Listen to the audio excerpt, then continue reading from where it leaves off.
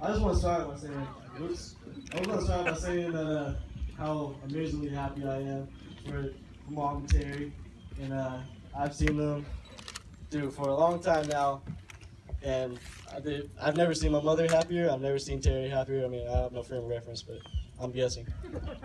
Um, I remember just first me and Terry, me and my sisters, and uh, I was like maybe six or seven at the time, but I remember this day clear as like clear as can be. My mom said, "Hey, this is Terry, and she's uh she's my friend. She's gonna stay here for a little while." And that was it. And so, as the years went on, she said she was looking for an apartment. She said, "Hey, this is my friend Terry. She's gonna be looking for an apartment, but she's gonna stay here for a little while while she finds it." And uh, I don't know how like, I guess the apartments they sold up pretty quick in Carrollton, but she's been there for a while. Still don't have Hey, I guess you don't have to find one anymore.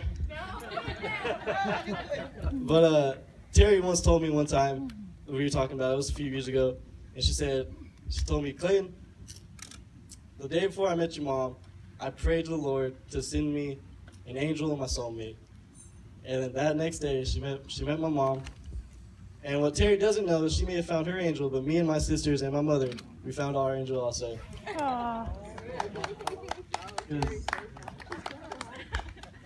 you know, I've never, I've never seen the love and commitment that Terry has shown towards me and my sisters and my mother. It's just, it's amazing to see.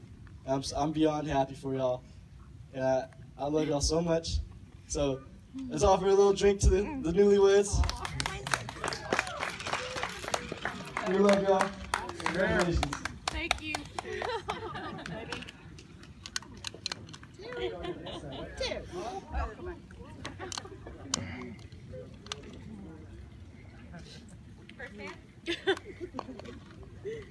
we were